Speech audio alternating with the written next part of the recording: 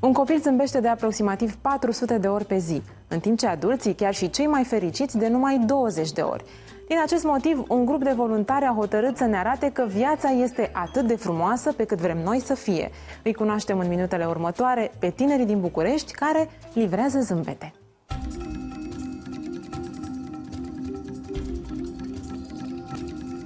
Românii se numără printre cei mai stresați europeni. Conform ultimelor statistici realizate de Organizația Mondială a Sănătății, 64% dintre locuitorii țării noastre sunt stresați, în timp ce media în celelalte state europene este de 60%. Creditele la bănci, sărăcia, problemele în familie și sănătatea sunt principalele motive de îngrijorare ale românilor.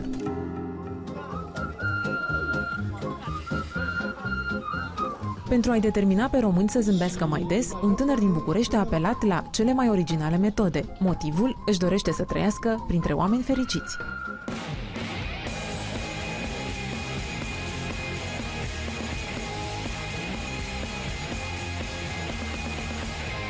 Povestea a început de la un moment cam prin 2012, când uh, mi-am dat seama că mă, viața este atât de frumoasă cât îi dă voie fiecare din noi să fie. Și în momentul în care mi-am dat seama de asta, am zis, băi, deci eu pot, eu pot să aleg să am o viață frumoasă, pot să aleg să mă bucur de viață, pentru că lucrurile pe care le căutăm noi în viață, pe alea le găsim. După ce m-am conștientizat lucrul ăsta, am ieșit pe stradă și mă uitam la oameni și vedeam dacă mergi pe stradă și câteva secunde în ochii oamenilor care trec pe lângă tine, o să vezi povestea în care trăiesc. Andrei Tudose nu este psihoterapeut ca să poată să-i scape pe oameni de griji în mod profesionist. A fost inginer IT și a avut propria afacere. Acum îi ajută pe oameni să uite de stres. Povestea în care a trăit și el până de curând a fost lipsită de viață. Chiar dacă a deținut funcții importante în România, dar și în Germania, planurile lui pe termen lung și siguranța financiară nu i-au adus zâmbetul pe buze. Atunci a dat seama că vrea să fie mai prezent în viața lui, dar și în viețile celor din jur, cu și prin veselie. Normal că s-a creat masa critică de experiențe care m-au făcut să văd acest lucru, pentru că eu însumi am trăit multă vreme așa, în, punându-mi obiective peste 5 ani și nu mă bucuram pe parcursul acestor 5-6 ani care a durat de fiecare dată până am ajuns acolo unde mi-am dorit. Și atunci m-am oprit. M-am oprit și m-am uitat în stânga, m-am uitat în dreapta, m-am uitat la oameni, am văzut că ține numai de mine cât de mult mă bucur în viața asta, cât de frumoasă e viața mea și am zis ok, hai să o fac, hai să mă bucur acum, acum, acum.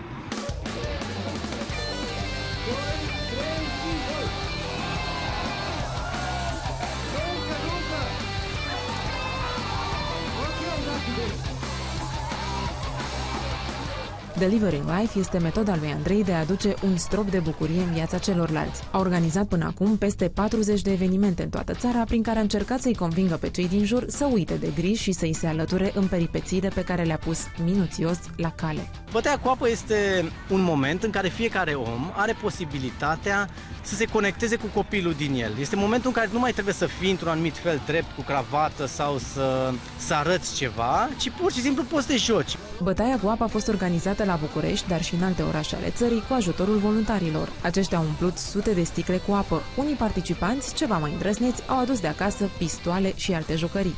Principiul general este de a scoate oamenii din monotonia cotidiană, să uităm de grijile, de locul de muncă, de ceea ce ne reprezintă ca oameni și să ne amintim că putem fi copii, ne putem distra, pe cea vieții depinde doar de noi înșine. Adulții s-au întors la copilărie, iar cei mici au fost bucuroși să se joace cu prietenii mai mari.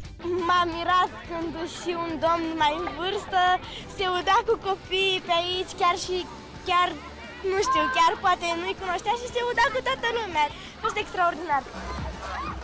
Am văzut și oameni în vârstă care s-au distrat pe un copii. Calma, o idee foarte bună, zic. Nu știu. Revenim la anii copilăriei, într-adevăr.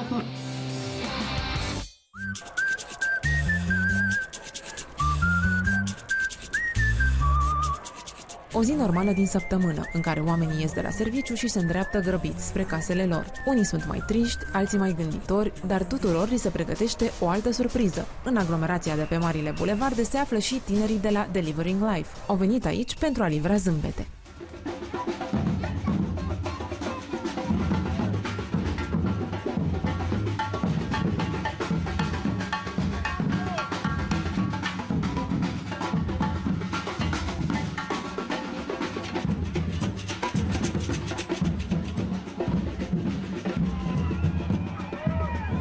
Echipa Delivering Life împreună cu trupa Barbarossa s-au infiltrat printre oameni și au încins o petrecere, chiar petrecerea de pietoni. Reacțiile trecătorilor au fost pline de zâmbete. Foarte tare, foarte super, emoții foarte mari și frumoase. Încercați și voi! Foarte bine, foarte, foarte bine, e super tare.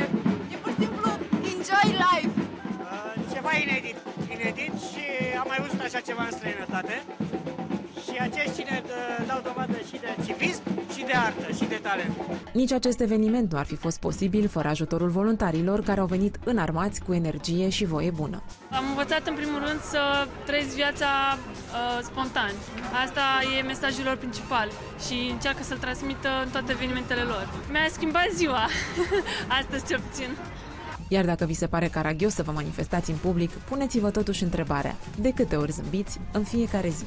Oamenii nu pot de schimb starea cu forța. Noi întotdeauna am pus, să zicem, pe masă sau am pus așa, am oferit uh, o șansă de a schimba starea, adică noi ne-am dus și am dansat pe trecerea de pietoni și nu am obligat, n-am luat lumea de gât să danseze cu noi.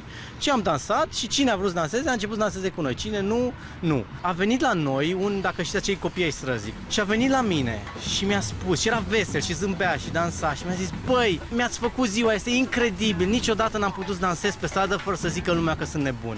Dar acum pot împreună cu voi. Și pentru mine a fost unul dintre cele mai mari bucurii. La fel este și pentru ceilalți membri ai Asociației Delivering Life. Zâmbetul este una dintre cele mai frumoase forme de comunicare pentru mine și a zâmbi cred că ne pune în acea dispoziție în care ne dăm seama că viața chiar este frumoasă și că merită să, să trăim și să ne bucurăm de fiecare clipă fără să ne gândim, da, da, astăzi uh, nu știu cum e afară sau uite omul ăla trist sau pur și simplu ne, ne dă șansa să, să ne bucurăm de viață. Tinerii zâmbăreți au făcut încă o livrare de succes, iar bucuria pe care au împărțit-o gratuit li s-a întors înzecit. Au primit ceea ce au dăruit, bunătate și zâmbet.